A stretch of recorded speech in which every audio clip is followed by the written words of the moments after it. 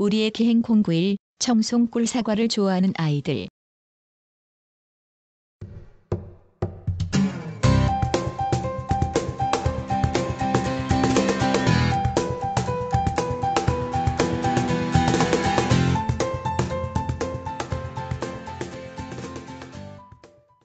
담쟁이 덩굴이 우거진 강변에서 새밤을 보내고 우리는 길 따라 마음 따라 나섭니다.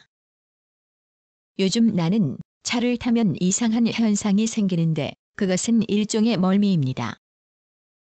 그래서 나는 움직이는 궁전이 출발하면 무의식적으로 조수석 창문에 달라붙습니다. 내 마음을 알아차린 인간이 스르르 유리창을 내리면 고개를 내밀고 찬바람을 쐐니다. 나의 이런 행위는 멀미를 떨치려는 방비책입니다. 그런데도 메스껍고 울렁거리는 속을 감당하기 어려우면 나는 조수석 의자 바지에 고개를 돌려 기대고 눈을 감습니다. 예전 같으면 이런 증상이 오면 나는 슬그머니 인간의 무릎에 안기곤 했습니다. 기억하진 못하지만 지난 어느 때 이와 같은 증상으로 인간에게 의지하려고 그의 무릎에 안기려다 혼난 후부터는 운전 중에 인간의 품에 안기지 않습니다. 인간의 자존심 못지않게 센 것이 나의 자존심입니다. 차를 타면 즐거움과 동반하는 멀미로 말미암아 어떤 때는 인간의 무릎에 안겨 위안을 받고 싶을 때가 솔직히 말해 많습니다. 그런데 단호하고도 매몰찬 말을 들은 후부터는 내 문제를 스스로 해결하려고 애씁니다. 지푸른 바다를 보아도 메스꺼운 속은 가라앉지 않습니다. 바다를 보는 것보다는 시원한 바람을 쐬는 것이 목적입니다. 그렇게 해도 울렁거리는 속이 가라앉지 않으면 나는 눈을 뜨는 것조차 힘들어 서두에 언급한 그런 행동을 취합니다. 인간이 내 정수리를 쓰다듬어도 만사가 귀찮습니다. 몇 시간 움직이는 궁전을 탔습니다. 작은 해수욕장에 우리는 멈추었습니다. 해안선을 끼고 꼬불꼬불한 길을 달리는 사이 굴림방 안은 난장판입니다. 걸어둔 물건이 떨어져 엉망진창입니다. 장미에 불을 붙인 인간이 굴림방에 올라가 하나, 둘 사물을 정리하고 나서 막걸리 병을 땁니다. 믿어도 되는지 모르겠지만 어떤 사람에게 들은 막걸리나 맥주의 거품이 넘치지 않게 하려면 병 뚜껑을 3개 5번 이상 치면 된다는 말을 상기하려 그렇게 했는데도 뚜껑을 돌리는 순간 거품이 치솟았습니다. 안주도 없이 벌컥벌컥 한 사발 들이킨 인간이 아이스박스에서 어떤 것을 꺼냈습니다. 겉에는 추억의 어묵이라고 쓰였습니다. 야채가 들어가지 않은 얇은 것입니다. 그것을 가위로 먹기 좋게 썰어 인간이 나에게 줍니다. 나는 인간이 먹는 것은 다 먹습니다. 인간이 먼저 먹는 것을 보았기 때문에 먹어도 된다는 것이 입증되었으므로 잽싸게 받아 날름 삼켰습니다. 햄과는 다른 맛이지만 이것은 이것대로 맛이 좋습니다. 또 달라고 골림방 앞에 촌색시처럼 얌전히 앉아 재촉했습니다. 못 들은 척하고 인간이 장미 향을 맡으며 째려봅니다. 눈빛이 슬퍼 보이기에 나는 외면하고 말았습니다. 인간의 시선을 피해 바다를 한번 돌아보는 사이 추억의 오뎅 맛이 생각나 모른 척하고 인간을 보았습니다. 개슴츠레한 인간의 눈빛이 오늘따라 여간 슬퍼 보이지 않습니다. 그런 인간의 눈빛을 보고 먹고 싶은 충동을 참고 코앞에 버티고 앉아 바다와 인간을 번갈아 봅니다. 얇게 썰은 어묵을 인간이 입에 물고 나에게 내밉니다. 인간의 입술을 물지 않으려고 조심하며 받아먹습니다. 맛이 좋습니다. 이 만난 것을 인간이 연달아 줄 생각을 하지 않고 한 겹이 비우고 한 모금 마시며 시간을 끌면서 감질나게 합니다.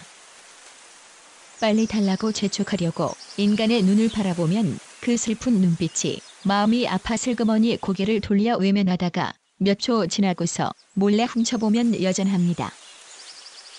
이쯤 되면 내 기분도 엉망입니다. 먹고 싶은 음식을 마음대로 먹지 못하는 욕심과 인간의 외로움에 적극적으로 동참하지 못하는 안타까움이 교차합니다.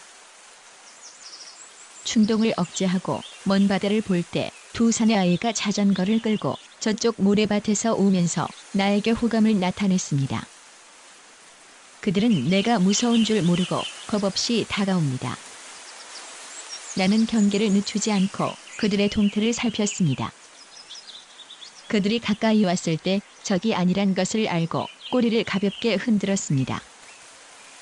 사내 아이들은 모래밭에 자전거를 세우고 쪼그리고 안전하게 손짓을 합니다. 여전히 경계를 하며 그들에게 조심스럽게 접근했습니다. 그들에게서 종족 냄새가 나는 것을 알고부터 나는 경계를 늦추고 꼬리를 세차게 흔들었습니다. 수평선 저만치 위에 둥근 달이 훤히 떴습니다. 일기를 쓰던 인간이 두 사내 아이와 노는 것을 보고 눈길을 돌렸습니다. 6학년인 우진이가 개성이 있는 목소리로 인간에게 안녕하세요. 인사를 하고 그 옆에 있던 한 학년 아래인 현우도 덩달아 인사를 하자 인간도 반갑게 그들에게 맞인사를 하며 하던 일에서 손을 놓고 자세를 틀었습니다. 두 사내 아이는 인간이 하는 꼴이 이상한지 굴림방 턱에 바짝 붙어 서서 기웃거리며 이런저런 질문을 합니다. 혹시나 인간의 심기가 불편하여 그들에게 화를 낼까 걱정이 되어 나는 아이들의 바지 차락을 물고 늘어지며 귀찮게 하지 말라고 했습니다. 호기심이 많은 아이는 내 말에 아랑곳하지 않고 인간에게 말을 겁니다. 아저씨 혼자 사세요? 우진이가 특이한 어조로 말했습니다. 음. 인간이 대답했습니다. 일본 말로 혼자 뭐라 하는지 아세요? 몰라. 히터리예요. 넌 그걸 어떻게 아니? 이 형 엄마가 일본 사람이에요. 현우가 옆에서 말을 가로챘습니다. 나로 말미암아 만난 두 사내 아이와 인간이 말을 듭니다. 너희 사과하면 청송 꿀사과요.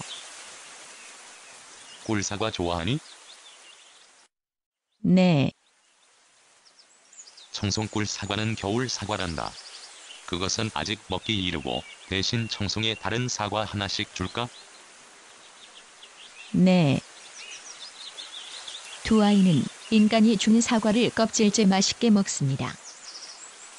인간의 말을 듣고 우진이와 현우가 사과를 한 조각씩 주는 것을 맛있게 받아 먹었습니다. 너희 가장 잘하는 것 말해봐. 두 아이가 서로 쳐다보며 말하려 들지 않습니다. 형이 먼저 말해. 전혀 아주 잘하는 것도 아주 못하는 것도 없는데요. 그 중에 좀 하는 것이 물구나무 서기예요. 오진이의 목소리는 남자아이와 여자아이의 중간으로 높낮이가 없이 조용합니다. 한번 해볼래? 먹던 사과를 굴림방턱에 두고 오진이가 모래밭에서 물구나무를 서서 엉금엉금 깁니다. 오진이는 키와 비교하면 조금 살이 찐 체형인데도 물구나무 서기를 아주 잘합니다. 오진이에 이어 현우도 물구나무 서기를 했습니다. 이 형은 태권도도 잘해요. 잘하진 못하고요. 이제 겨우 1단이에요. 다른 아이 같으면 태권도 실력을 자랑할 텐데 우진이는 그렇지 않고 겸손을 떱니다. 아이들이 나타나기 전에 우울해 보이던 인간의 표정이 좀 밝아졌습니다. 우리는 기행을 하며 남녀노소 가리지 않고 호감이 가는 사람과 이야기를 합니다. 아이들과 이야기하는 것도 재미있습니다. 뒷집에서 얻은 사과를 하나씩 더 나누어 주고 우리는 아이들을 돌려보냈습니다. 한가위 전날의 둥근 달이 풍선을 띄운 것처럼 바다 위에 훤히 떴습니다. 달빛이 비친 바닷물의 잔잔한 파문이입니다. 우리의 마음에도 그리움의 물결이 흔들립니다. 시각은 자정을 넘어 2009년의 추석날이 되었습니다. 작은 어촌 장사에서 우리는 한가위를 맞습니다. 초저녁 바다 위에 있던 달이 어느새 산모퉁이로 자리를 옮겼습니다. 2009년 10월 2일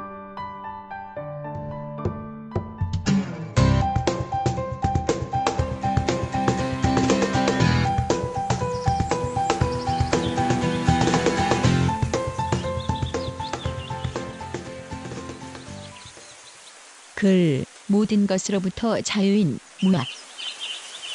이야기, 나그네의 동물가족 바람이. 낭독, 글 읽어주는 고지혜. 들어주셔서 고맙습니다.